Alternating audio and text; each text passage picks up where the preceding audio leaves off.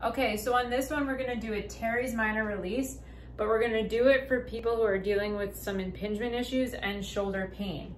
So you're gonna really guide the exercise with this one. So when you talk about the teres minor, the teres minor kind of wraps up and then inserts right here.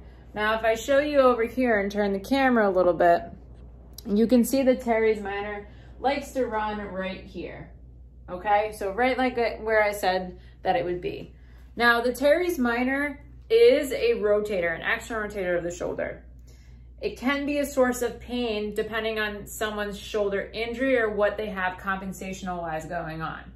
That being said, with the lacrosse ball, what you're gonna do is you're gonna place it right in that pinpoint area. So right about here, right, right off that shoulder, right underneath the shoulder, and I'm gonna put some pressure into it. I feel it.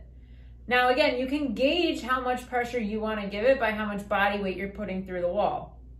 Now, for those with shoulder pain, I want you to guide the shoulder passively. So I'm holding it up with my unaffected arm and I'm just kind of rotating away from the ball, feeling a little bit more pressure in there and then back. I'm not moving an insane amount. Now those who don't have shoulder pain and it's just tight, you can pull the elbow across the joint and then back up.